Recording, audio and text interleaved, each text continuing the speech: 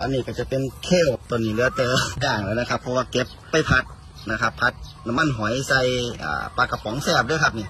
รสชาติเขาก็จะคือพักขนาเลยนะครับนี่ผลงานปุ๋ย AB เก่านะครับ ปุ๋ย AB เก่าที่เหลือจากปลูกพักนะครับซุ่มพักสลัดนะครับ หรือว่าขืนช่ายยังสินะครับ อายุเก็บเขาที่45หมื่น30หมื่นยังสินะครับน้ำน้ำปุ๋ยเขาจะเหลือเขาก็เอามาเทใส่ถังไหวนะครับ เทใส่ถังไหวนะครับก็เอามาไหวถ้าฮดเพิ่นยังสินะครับนี่นี่ฮดเพิ่นในดินนะครับ นี่ สวยงามเลยนะครับ อันนี้จะเป็นเคี่ยวในเข่ง ในกระมัง อันนี้จะเป็นพ่อแบบให้โดนนะครับ เพาะในฟองน้ำแต่ว่าเอามาลงในกระมังนะครับ เพราะว่าต้นกาเพิ่นมันเหลือ จากที่ในกองโฟมในช่วงที่ปลูกแรกๆนะครับเดี๋ยวก็เอามาลงจะปลูกสองต้นนะครับสองต้นต่อกระมังอันนี้ทดลองเบิ่งนะครับ แต่กับผลงานปุ๋ย AB คือเก่า แต่วันนี้เป็นเป็นพันธุ์หอมใหญ่ด้วยครับเด้อพันธุ์หอมเมืองเลยนะครับ ปลูกเท่อเดียวนี่ครับ คือแบบเก็บกินได้ตลอดชีวิตเลยนะครับ ตอนนี้กำลังขยายพันธุ์อยู่นะครับ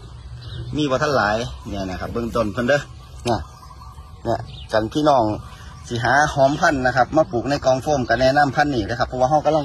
ขยายขยายพันธุ์อยู่ฟังผุนอยู่เด้อครับเด้อขยายต่อมาเรื่อยๆในกองโฟมนะครับนี่คือปีหนึ่งแล้วนะครับนี่ก็คือบอยุบเลยนะครับ หัวเพิ่นสิบเนาเลยสำหรับหอมพันธุ์นี้นะครับนี่นี่นี่หอมพันธุ์นี้หอมหอมหอมแบ่งเลยนะครับเด้อพี่น้องก็ไปหาพันธุ์นี้แหละเด้อกันสิเอามาปลูกในกองโฟมรับรองปลูกเพื่อเดียวนะครับ กินได้ก็คิดว่าน่าจะกินได้ตลอดชีวิตนะครับ อันนี้คือเอาเอาจากในกองโฟมนะครับ มาลงมาลงดินไหวทดลองเบิงนะครับเนาะเพิ่นก็ง่ามของเพิ่นอีหลีนะครับเด้อแต่ว่าขันอยู่ในกองโฟมนี่ก็ง่ามอีหลีคือกันนะครับง่ามคือกันนะครับ ขยายไว้นะครับ ในกองโฟม อายุปีกว่าแล้วล่ะครับ เพราะว่ามันมันขยายขยายพันธุ์มาจากตัวที่อยู่ในกองโฟมที่เขาเคยเห็ดคลิปให้พี่น้องนะครับ วิธีปลูกวิธีขยายหอมในกองโฟมพี่น้องก็ล่องคนเบิ่งในช่อมเลยเลยนะครับอ่า พิมพ์ตรงช่องค้นหานะครับตรงช่องค้นหาตรงลูปแว่นนะครับด่านด่านด่านบนเลยนะครับ